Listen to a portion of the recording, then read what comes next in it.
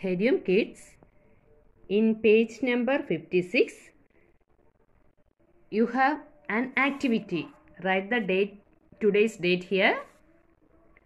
Trace the rectangle and color it yellow. You have to trace the rectangle and color this rectangle with yellow. In this column, you have to draw two rectangles and color it.